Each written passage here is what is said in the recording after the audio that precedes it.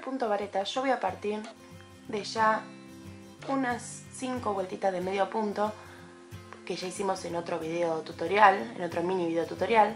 Pueden ir a buscarlo, seguro se los dejo el link por acá arriba. Vamos a hacer el punto vareta. ¿Cómo es? Van a ver que este tiene esta altura, sí, este chiquitito. El punto vareta va a tener aproximadamente esta altura, ¿sí?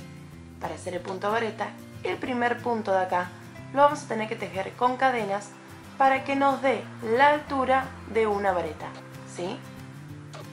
En este caso para la vareta, yo lo que tejo es, hicimos antes una sola cadena, ¿sí? Para tejer el medio punto. Dos puntos para hacer la media vareta. En este caso, como es vareta entera, vamos a hacer tres puntos de levante. Entonces, uno, dos y tres.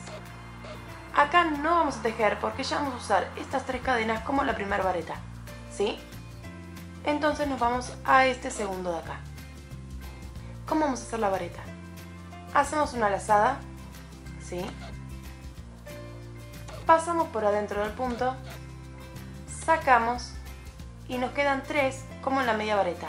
Pero esta vez no vamos a cerrar todas juntas, sino que hacemos otra lazada y cerramos dos y hacemos otra lazada y cerramos dos más. Y así podemos ver que nos quedan de la misma altura. Vamos a hacerlo un poquito más cerca. Agarramos el lado, hacemos una lazada. Pasamos hacemos otra lazada ¿sí? pasamos de nuevo. Sacamos dos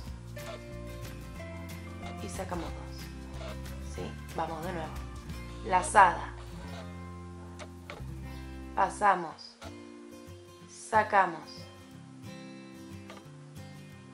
Lazada y sacamos por dos.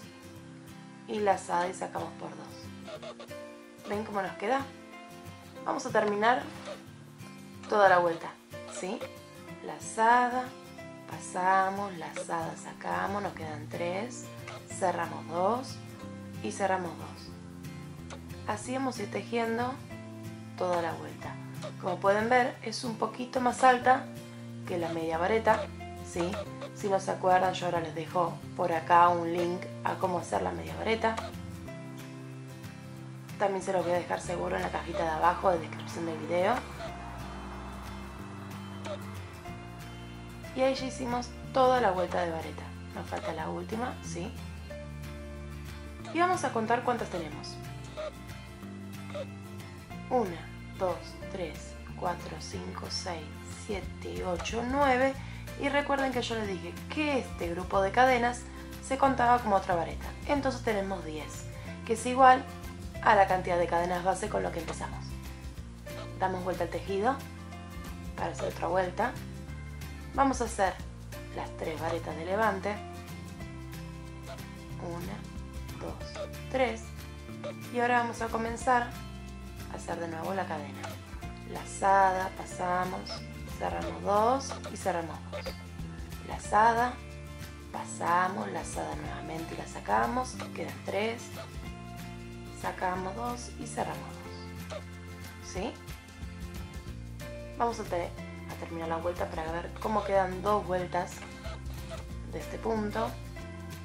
Yo lo estoy tejiendo ahora rápido para que vean.